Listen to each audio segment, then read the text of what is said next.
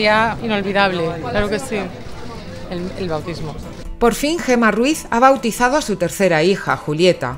La pequeña ha recibido las aguas bautismales de manos del Padre Ángel en la iglesia de San Antón de Madrid. Siempre hacer sacramentos es muy bonito, ¿no? Muy bien. ¿Cómo se ha portado la niña? Bien, una campeona. La hemos visto muy buena, muy tranquila, atenta. Los niños no lloran, aquí los niños gozan y son felices. Los padrinos de la niña, la primera en común entre la ex de Álvarez Cascos y Juan Díaz, han sido Paloma Cuevas y Enrique Ponce. Mucho su papá, la verdad. Muy parecida a su papá. Y viéndola así tan chiquitina, ¿no dan ganas de ampliar la familia, chicos? Una muñequita, la verdad es que es una muñeca. La cordobesa está feliz de que haya sido la elegida para madrinar a la niña, que acaba de cumplir cuatro meses y a la que nos soltó. Y yo somos amigas desde niñas, fuimos compañeras de colegio.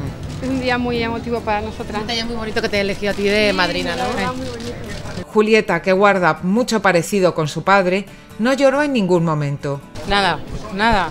Buenísima, muy buena. Muy despierta, atenta a todo, ¿no? Buenísima, de verdad, que es una santa, no porque lo diga, pero es verdad. Además, sus hermanos Alfonso e Íñigo estuvieron pendientes en todo momento de ella y de todos los detalles de la celebración.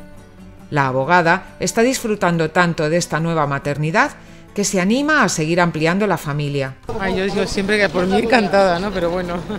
Y a quien se le cae la baba con su primera hija, su princesa, es al feliz papá. Imagínate, imagínate cómo está. Está, vamos, mira por los ojos de Julieta, evidentemente. También acudieron numerosos amigos de la pareja como Fiona Ferrer, Cristina Llanes o Luis García Fraile, entre otros.